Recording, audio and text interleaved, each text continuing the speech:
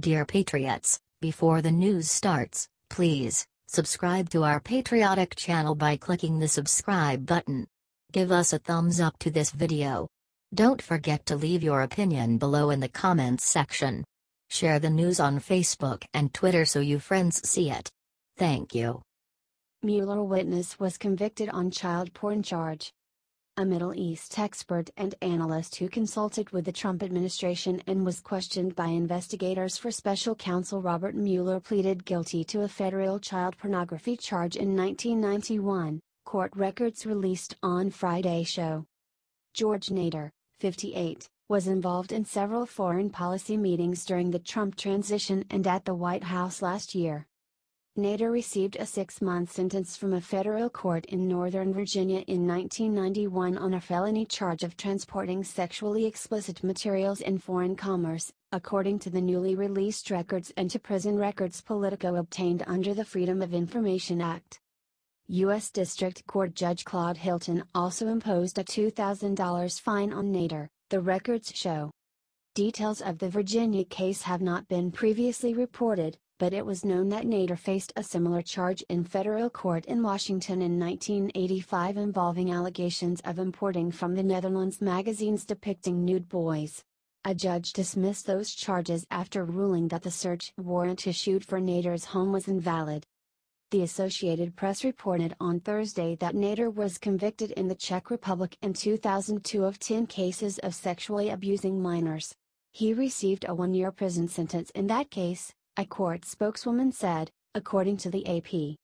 The litany of legal troubles Nader has faced over the years could provide fodder for investigators on Mueller's team pressing him for details on his work with the Trump transition, including a meeting at Trump Tower in December 2016 that involved President Donald Trump's son-in-law Jared Kushner, Chief Strategist Steve Bannon and Mohammed bin Zayed, Crown Prince of Abu Dhabi, the session has attracted interest because it was not publicized at the time and reportedly took place without the knowledge of the incumbent Obama administration. Nader also reportedly attended a meeting in January 2017 that Mueller has investigated and that involved Blackwater founder Erik Prince and a Russian banker with ties to the Kremlin. A lawyer for Nader, Sandeep Savla, said on Friday that people eager to undermine Nader's credibility were trying to silence him by dredging up his past. This is nothing more than an orchestrated, disgusting scheme by those who are trying to intimidate Mr. Nader into silence. It won't work, Savla said. Mr. Nader will continue to answer truthfully questions put to him by the special counsel. The newly released records provide new details about the activity that brought Nader to the attention of federal prosecutors and about the highly secretive work that led him to get a relatively lenient sentence three decades ago, his role in negotiating for the release of U.S. hostages held in Lebanon. The 1985 case stemmed from a shipment Nader received of film in various magazines that authorities said depicted pre and post-pubescent boys engaged in sexual acts. Some of the magazine titles listed in court papers are so blunt as to leave little doubt they involved underage children. A search warrant also produced evidence that Nader had corresponded with several young boys and saved their letters, prosecutors wrote. The 1991 indictment came after customs inspectors at Dulles International Airport found two sexually explicit videotapes in Nader's luggage as he arrived on a Lufthansa flight from Germany. A pediatrician consulted by the government said the boys in the videos were about 13 or 14 years old. The court proceedings that followed were far from typical. While the charges were pending, Nader made at least five trips overseas with court permission, four to Beirut and one to Moscow. Prosecutors also agreed with the defense to put the entire case under seal due to the extremely sensitive nature of Mr. Nader's work in the Middle East, court records show. Later filings made clear that the trips and delays in the case were due to Nader's involvement in negotiations to free U.S. hostages being held in Lebanon. Since no one else at this time can do the work that Mr. Nader is doing in the region, it is essential that he be able to carry on his work there, a defense attorney wrote in one motion. In pressing for leniency, Nader's defense said he was deeply involved in the hostage talks, even though U.S. officials declined to acknowledge his role to the court.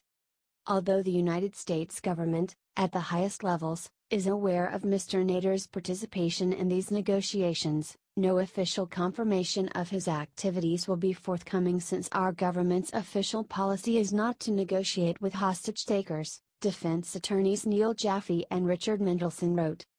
The defense filed several letters of support, including from Jean Sutherland, whose husband, Thomas, was a professor at American University of Beirut who was then being held hostage.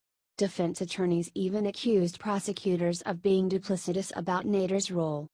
The inconsistencies in consenting to Mr. Nader's unrestricted travel and the sealing of this record but refusing to acknowledge his work on behalf of the hostages is, at best, inexplicable, and, at worst, malevolent, Jaffe and Mendelson said. Prosecutors rejected that claim as totally unfounded and insisted that much of Nader's work was indeed opaque to the State Department and other officials. Hilton, the judge, sided with the defense, concluding that a lighter sentence than usual was warranted because of the defendant's extraordinary cooperation with the governments in certain areas. In addition to his work on the hostage issue, since the 1980s, Nader has been a regular participant in Middle East policy discussions under several U.S. presidents. George has popped up under most every administration I've been associated fault with, said Aaron David Miller, a longtime State Department Mideast negotiator now with the Woodrow Wilson Center. I dealt with him from the Reagan administration on, I consider George pretty reliable and pretty authentic, but he disappeared for long blocks of time, presumably in the region. Miller said he knew Nader faced some legal issues, but wasn't clear on the details. I was aware in the early 90s of some charges involving something, Miller said. Miller said Nader had entree with an impressive range of people. Does it surprise me that George would surface again in another administration? Absolutely not, he said. In the Middle East, George had an absolutely amazing degree of contact with the people we were talking to.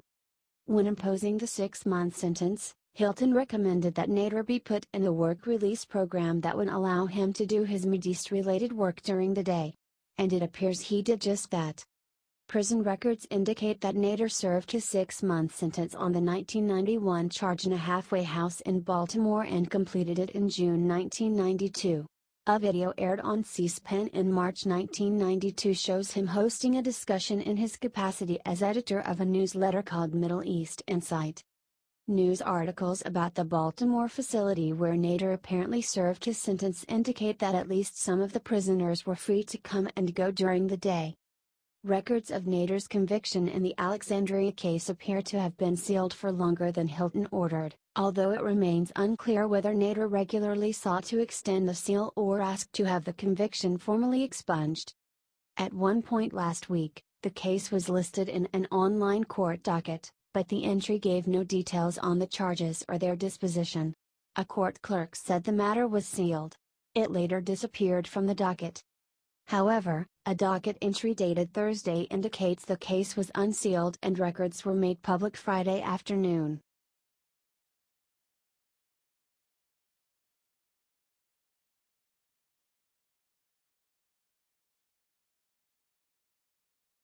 Facebook suspends Trump affiliated data firm over privacy concerns. Facebook announced Friday night that it has suspended Cambridge Analytica, a data analysis and communications firm best known for its work for President Donald Trump's campaign, over concerns that it and other parties improperly obtained and stored users' personal information. Facebook didn't cite any of the firm's work for Trump in its suspension announcement. But the news comes as the data mining firm is embroiled in questions from congressional investigators and special counsel Robert Mueller over whether anyone in the U.S. colluded with Russia to undermine the 2016 presidential election.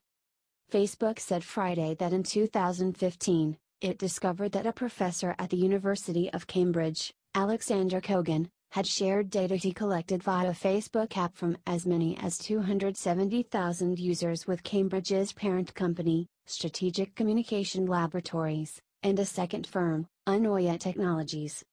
Paul Grewal, Facebook's vice president and deputy general counsel, wrote in a blog post Friday that Kogan and the companies claim to have destroyed the data.